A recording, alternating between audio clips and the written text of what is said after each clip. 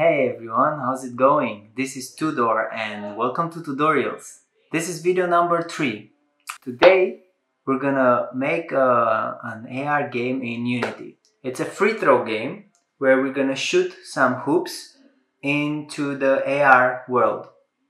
Now, Unity is a very popular game engine. It's free to use. Most uh, indie game developers use it. Um, and they have AR Foundations, which is a, a library, a, a, development kit which taps into Google's ARCore and Apple's AR Kit uh, and combines them together. Unity has uh, created this uh, example scenes using AR Foundations and uh, we're gonna download that uh, repository holding all these example scenes and we're gonna basically use that as a starting point for our augmented reality game. We're gonna use a, a script called place on plane, which allows us after using our phone to after we've scanned the world around us, it allows us to place uh, 3D objects on the planes that we have scanned into the real world. And we'll use that script to place our basketball hoop. Then we're gonna write another script that will allow us to flick a ball from our phone to wherever we want. And we're basically gonna try to flick it uh, inside the hoop. Obviously we can take this further and make it more complicated and more cool. For example, we could say if you shoot a hoop from further away, you get more points. So the way it works is we place the basketball hoop here into the AR world and then we move over there and when we look with our phone back into this direction we're actually going to see the hoop still here and we're going to be a bit further away than it. And from wherever we are with the phone we're going to be able to shoot um, with the ball. Uh, yeah so this is what we're going to be doing today. So if you find it interesting um, come on board. Let's get on to it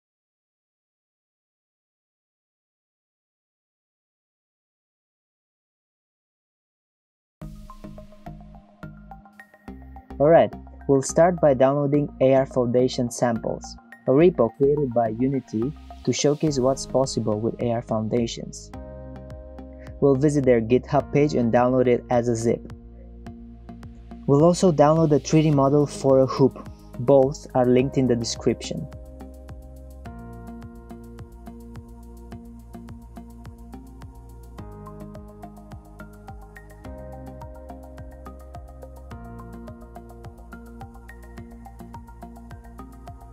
Next, we'll install Android Studio. We won't be using it, we just need it for the SDK. Download it from Google and uh, start installing it.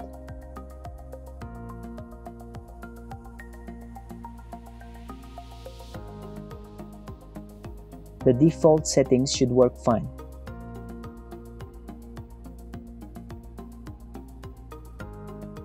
Once installed, go to Configure SDK Manager and under SDK Platforms, check the Android 711 box and press OK then OK again to install.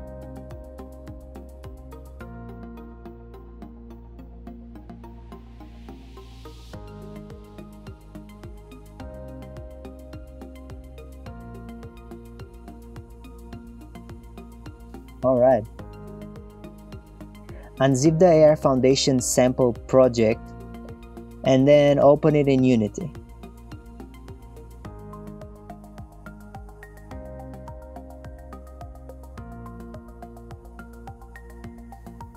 There will be lots of example scenes here. Um, feel free to try them now or afterwards and come up with your own cool ideas. We'll go straight into it. Open Scenes, then UX, and double click on Sample UX Scene. This will be our starting point. Next, click on AR Session Origin inside Hierarchy and open up the Place Multiple Objects Plane script that appears in the inspector. We'll modify this script to better suit our needs. Copy its contents. Next, create a new folder called AR Free Throw, then create a script inside of it called Place Hoop where you'll pass the contents of the previous script. Next, rename the new class to place hoop and we'll also rename some of the variables.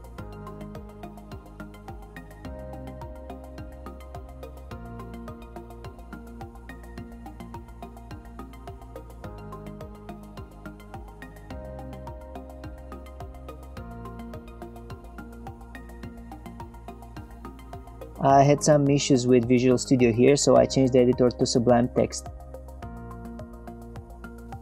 Alright, now, this script will take two external inputs, the hoop prefab and the ball prefab, which we'll uh, create shortly.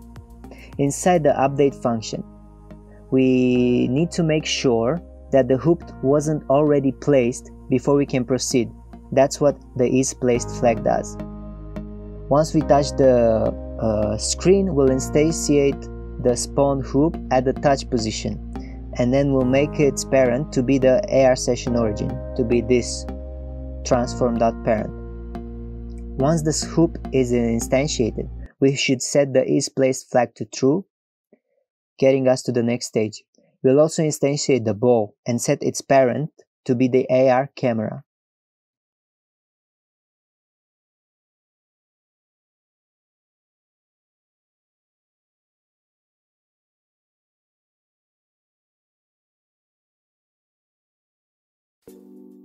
Now we're creating the ball control script, which will handle the controls of, you guessed it, the ball. Alright. Uh, please note how this class requires the rigid body component on line 5, which gives the ball physical properties such as mass or the ability to have forces be applied to it. We're defining the variables for the throw such as force and damping factors to make sure the ball doesn't go too much astray.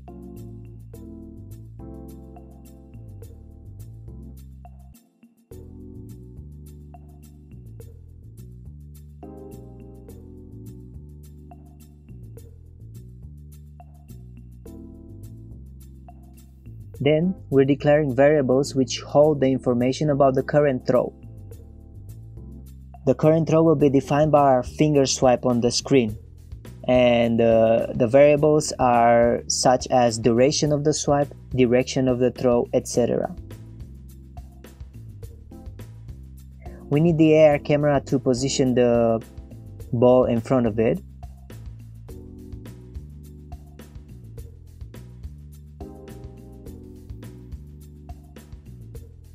Now we'll initialize our script and we set the ball's position through the function reset ball which we'll write a bit later on.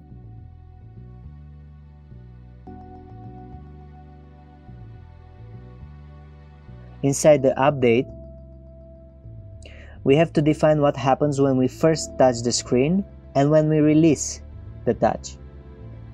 These two if statements will uh, hold information about our current swipe. Note that when we're on mobile, input.getMouseButtonDown and getMouseButtonUp act as uh, input.getTouch.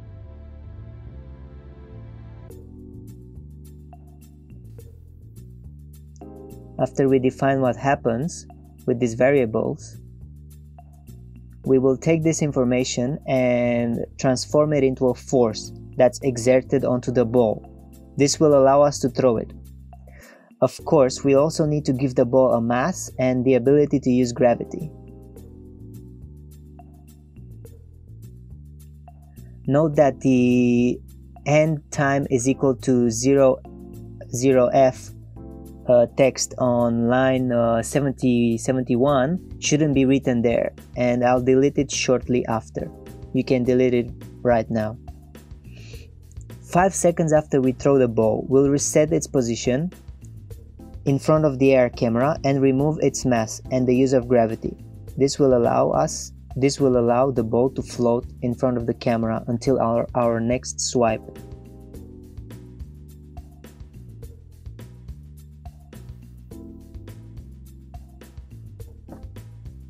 Next, let's import the AR Foundation library.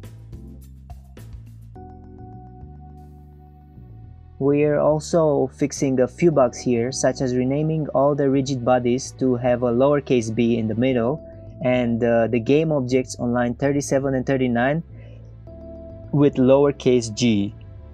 Note that we're not changing the, the game object on line 38. Next, delete the end time is equal 0 line, and then we're done here.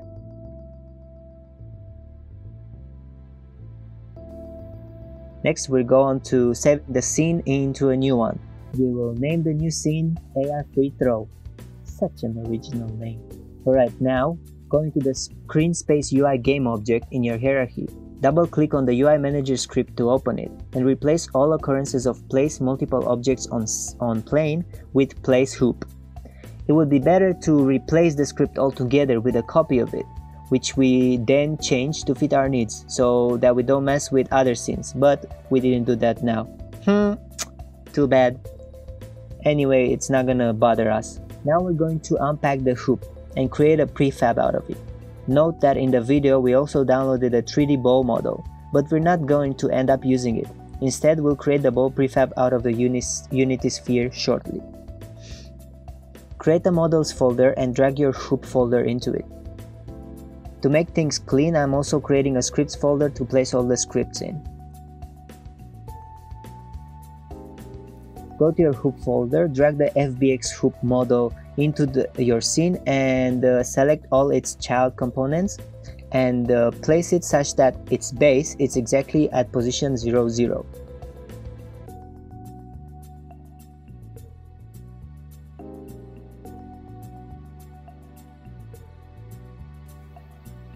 Next, we're going to need three materials.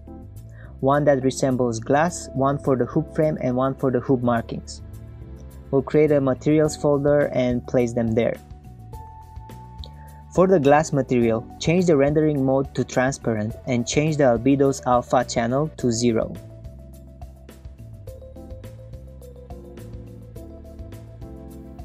Next, the frame and the, uh, the, the frame and the markings, you can color them however you like.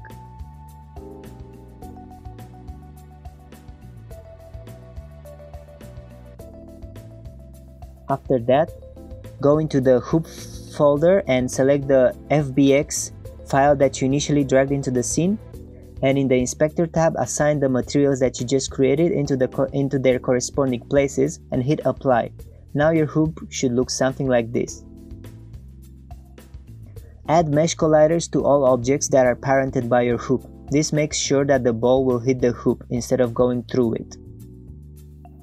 Next, we're going to scale the hoop down to 0.01 on all axes and rotate it 180 degrees on the vertical axis. Once you're done, create a prefabs folder and drag the hoop into it. If prompted, select original prefab. Delete the hoop from our scene. Next, we'll create the ball prefab. Create a sphere inside the hierarchy. Create its material inside the materials folder. You can give it any color that you like. We also need to create a physics material. We'll change its dynamic and static frictions to 0.4 and its bounciness to 0.5. Drag both the created materials onto the sphere. Note that the physics material should apply in, should appear inside the sphere collider. Next, add the ball control script to the sphere by selecting add component and typing ball control. Next, resize the ball to about 0.3 or 0.4 on all axes. You can put it side by side with the hoop to make sure that it actually fits inside the ring.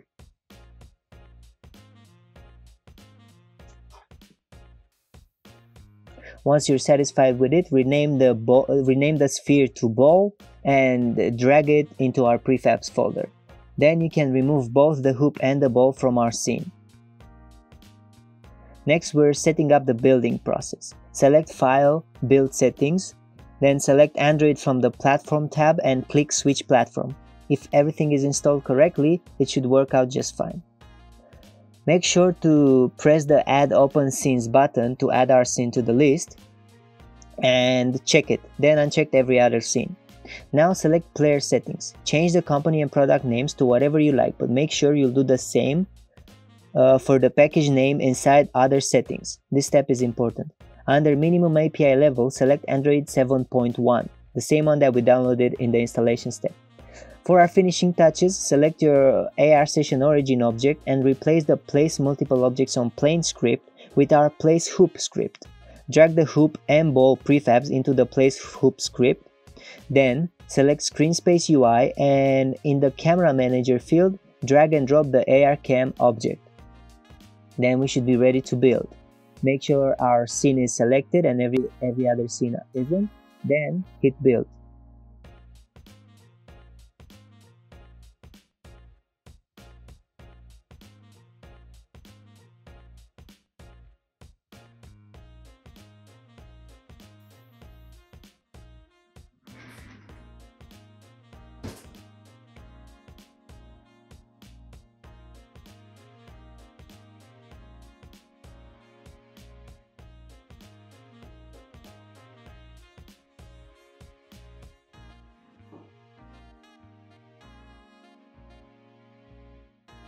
É,